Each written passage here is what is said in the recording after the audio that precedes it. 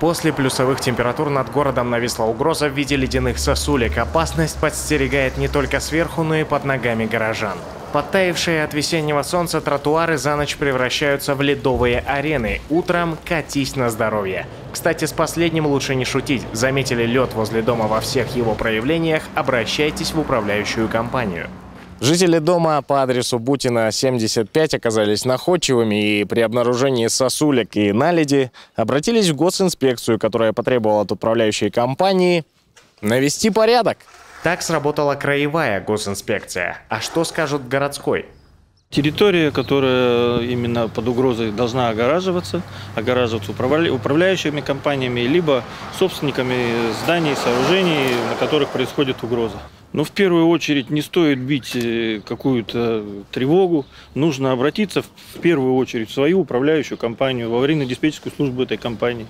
Вот. Но если же управляющая компания бездействует, тогда можно обращаться уже и в единую диспетчерскую службу города по телефонам 35 50 06 35 50 07, либо в контрольную инспекцию администрации города по телефону 32 70 42.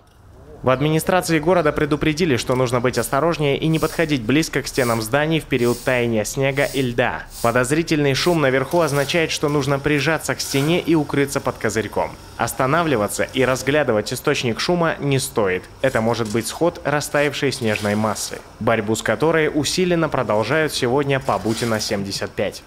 Вы со скольки тут занимаетесь? С 7 утра. С 7 утра? И вот это все вы сделали? Да, да, да. Сложно отдалбливать лед? Ну, конечно, вот топтали тоже. Еще не подойдешь, машины поставят в подъезд, все. Как еще подъезд не заезжает? Валерий Иванович, можно я попробую? Пожалуйста.